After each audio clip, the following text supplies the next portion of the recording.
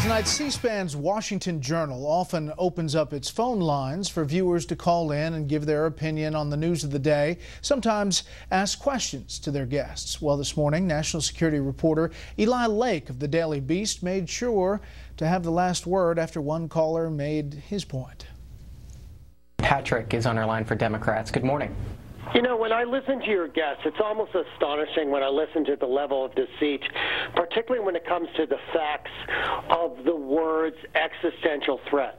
The only existential threat to the United States of America is this is the Israeli government, which represents a true existential threat, which is an which was an active participant in 9/11 and Eli Lake, do you want to jump in? I would like to jump in.